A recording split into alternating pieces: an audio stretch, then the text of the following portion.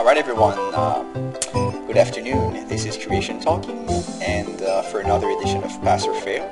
Uh, it's currently 4.19 in the afternoon Eastern Canadian Time, and I'll be playing the game Story of Innocence by Ultima 187, if I remember the uh, numbers correctly. Uh, first thing I like about the, uh, about the game is the MIDI music. I'm sure most people prefer MP3, but for me it reminds me of the days, of the golden days of the Sierra adventure games like uh, King Quest or Quest for Glory. And I don't know, for me it's, uh, it's really good memories. And uh, I don't know, it has a certain charm to it, this kind of music. So yeah, let's get started. Uh, begin story. Game Makers presents Story of Innocence.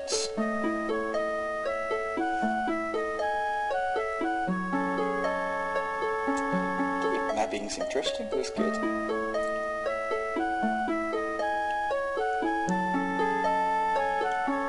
Okay, the guy there, surprised about something. Oh, hello, you started me. I'm assuming you came to hear the story. No need to respond, I know I'm right. Well, this story is unlike any ever told in the history of this planet. Some believe it is true, most it is just a legend. I, however, know the truth. Now I could just tell you, but I figure it would be best to let you decide for yourself. Now, how would you, how should we begin our story? Oops.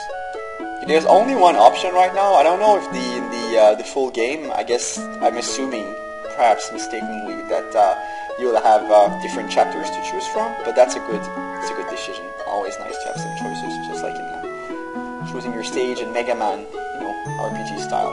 Okay, let us begin with a young girl named Liana. Uh, Liana was a special girl. The world didn't see her as such, but she was truly one of a kind. As an infant, she was abandoned, left for dead. Uh, I just want to pause for a minute. Um, I've, I've never seen this in an RPG game before. The, the way the story is told right now, I, I find it very interesting. Uh, having this omnipotent character who uh, who tells you uh, about the characters of the game, and having those you know the icons, the the, the, the sprites changing in the background, you know, just like the, Uh, left for dead. She should have died before then, but the wise and all-knowing God, Semlis, had other plans for her. He brought her to the doorstep of a loving couple that, for biological reasons, could not convince on their own. They took Liana in and loved her as if she was their very own. They never questioned why Liana was given to them. They just raised her to the best of their ability. Now back to Liana. She loved interacting with people, and this love led to her wanting to become an actress. Well, that and a man named Fabian Liana into his acting company and took advantage of her. She loved him, and at, at, at least she thought she did. And despite her better judgment, she stood by him. A costly mistake and gave her away to shipping magnate Galahad, who in turn sold her to a slave trader in far-off land of Sandoria. So I hope I'm going to get Bean Control soon because it's, um, it's going long. I could continue your story in this fashion, but I fear in doing so you will become bored. that's funny you say that because that's the way I felt. So I want you to read the story yourself. Do not worry, for there will be plenty of visual aids to keep your interest. Hopefully. And if I may make a suggestion, start where Liana and a friend of hers unsuccessfully attempt to escape their captors.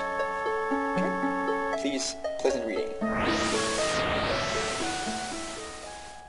Cool. I like it. Liana's beginning.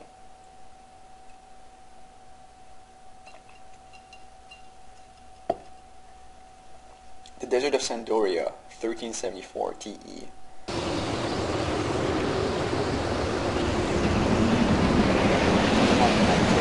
We have to keep going.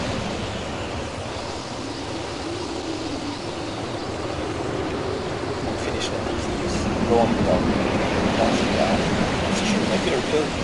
My body hurts I can barely see where I'm going. I see them. We didn't come this far to up now. Besides, we're the only ones left. Owe it to the others to survive. You know, without you, I don't think I would have made it this far. Liana and together we make it all the way. I have. I made a promise to you home, so we have to get up, or else we can break it. Hahaha, the truth. I think this, I think this is maybe a little bit over dramatic, but uh, it's It's not that over dramatic, but it's, it's I mean, it's not, it's not that uh, really think we would allow you to escape? Why do you kill her in nothing? Simple. She's worthless. You're not. We plan to make a big fortune out of you. So I hope we'll be in control of the characters soon because uh, it's starting to be too long, the introduction, really. It's been uh, it's been 5 minutes already of introduction of, out of the 10 minutes I'll be playing, so I have your attention. Today's your lucky day. I have for you a rare beauty from the country across the ocean, Maradan. It's not every day one of these are available for sale, so I suggest you add her to your collection as soon as possible. May I suggest we start the bidding at 20,000, whatever currency you have in the game. Do I hear more? 30,000, blah blah blah, blah blah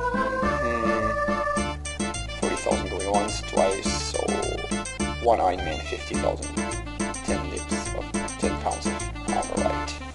Okay, what is the meaning of this? I cannot beat him, you know it. Sorry, Scarlet, but he also offers 10 pounds of armorite, which is a priceless min uh, mineral, so he wins. Those are the rules. You're aware that I'm your most frequent buyer. Yes, I know, but this is business, so don't take it personal. I'm sure by next month you'll have another one just like her. I don't want another one. Uh, please don't send in trouble. It's too long. The introduction, I think, is too long. Um, you know when you have those long dialogue sequences, there's, there's always a way that you can have those sequences while having the player interact, in my opinion. That's what I think. For example, in the desert scene, I mean, I think it should have been possible to actually control the character and then beat the guard and then, you know, but at least be in control because right now you're just a passive observer and it's kind of boring. I can believe this. Um,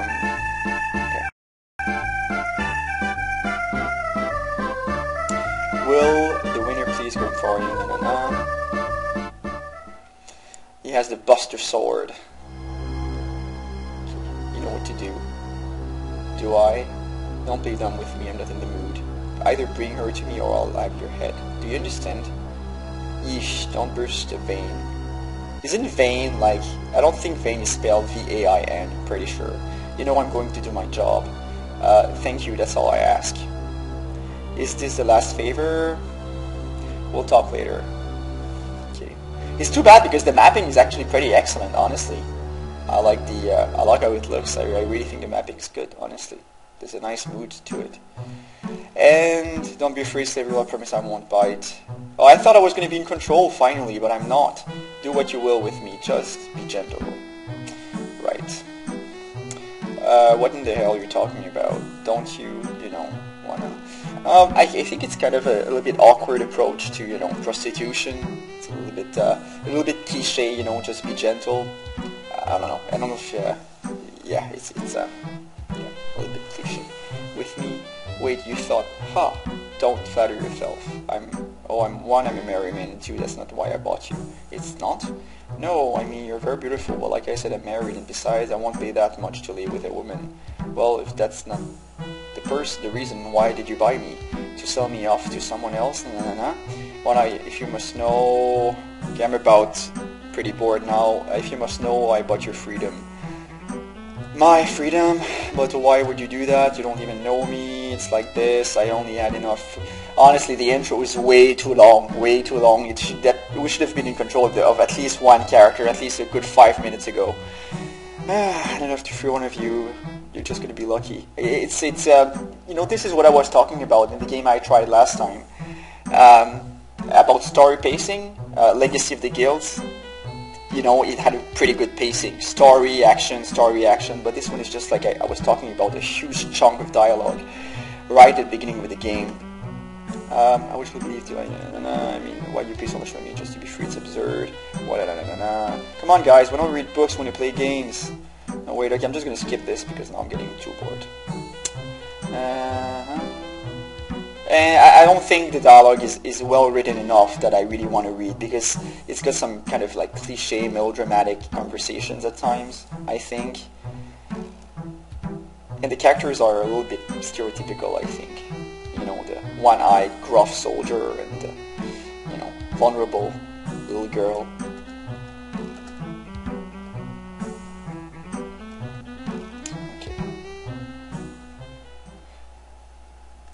Finally, finally, after close to 10 minutes of introduction, I'm in control. Woohoo! Yeah, better, better late than never, I guess. So uh, yeah, I'll be playing this one a bit longer than 12, 10 minutes. Otherwise, we just won't know what the game is about. So I'll just follow the guy. And uh, who's that dude?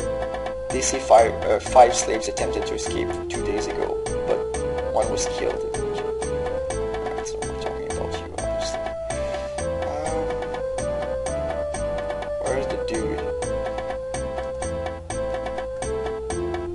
Human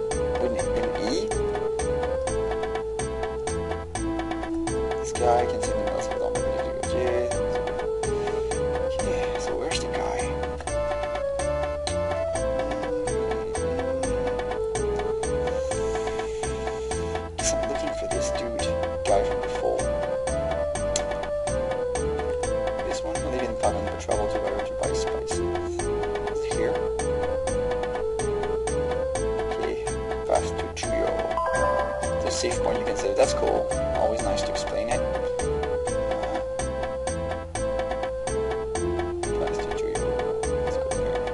To to.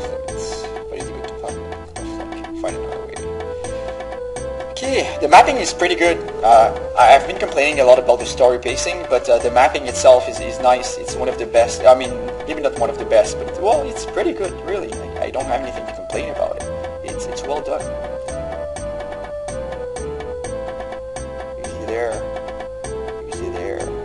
location is interesting, kind of like the Sand City. It's cool. Uh, here, no. So I skipped the dialogue, so probably shouldn't have, but I was getting too tired of reading. And there, there's no quest journal, so I don't really know what I have to do. Quest journals are always nice,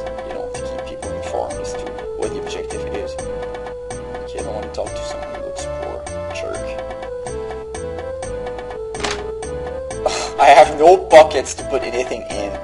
Come on. That's cheap excuse. Oh. Just carry it in your hands. Come on. Oh shit. I'm stuck. Okay. I have no pockets to put anything in. That's fine.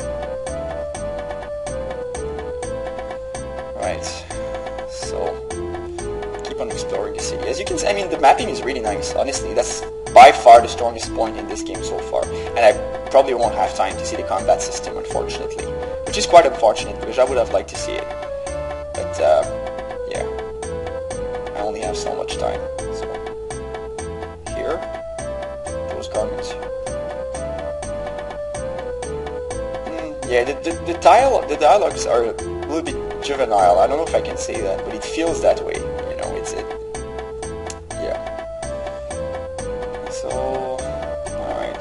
That way? You it and see if you forward. Okay. So it's not that way either. Where's that guy? The hero guy. Can I check the menu? Doesn't seem like it. Okay, so uh, I think I'm gonna stop because I can't find the one I Okay, well, um, I'm gonna give this one a fail, and I'll tell you why. Uh, it doesn't seem to be a bad game, not by a long shot. The mapping is good, the locations are interesting, and, and the story, uh, well, no, the story not that great, but yeah, I, I think the, the writing can use some work. It, it, it's not very convincing, and it's kind of like cliche or stereotypical, and I, I'm not just, I just don't feel interested in reading it. I feel like it's a chore to, to have to, to, to plow through all that, those dialogue lines. And the intro, before you get control of your character, is way, way, way too long. Way too long. I mean, 10 minutes of reading before playing? Nah, forget that. Honestly, not for me anyway. Maybe other people like that, but I don't. I certainly don't. Um, so my, my advice, I mean, if I can offer some unwanted advice, would be to provide, I mean, if you really, really like, if you really need to have those those cutscenes, at least find a way to make them interactive for the player. I mean, the desert scene, that could have been, you could have been in control. There's no reason why it was just a cutscene where you had to, to watch too. And it's really too bad because the beginning of the of the game was really promising, like that guy telling a story. And what, but the thing is, when he finished talking, when he said, "I don't want to bore you," then I think at, exactly at that time we should have been in control right away because it just said, you know, you're tired of reading, now you're in control. But then actually what followed was just more and more reading and, and that's just too much for me. So uh, yeah, I'm gonna give this one a fail. Um, I would definitely try this game this game again if the introduction was like cut at least by half, and or at least if you had some sort of control. But uh, and yeah, I think the dialogue should be uh, worked on, and maybe the characters should be uh, developed so that they don't seem they're not so stereotypical. I mean. The, the girl doesn't seem to be so bad, but the guy, like the one-eyed, kind of self-confident, gruffy warrior, you know, just like, you know, Guts in Berserk, you know, the anime, it's been done so many times before. Uh, come on, just, just, I think it's just important to be imaginative, imaginative every once in a while and just, you know, get off the beaten path and try to create characters which are more believable or just different than the, the, the anime, you know, stereotypes. So, um, so yeah, that's all for this uh, this one.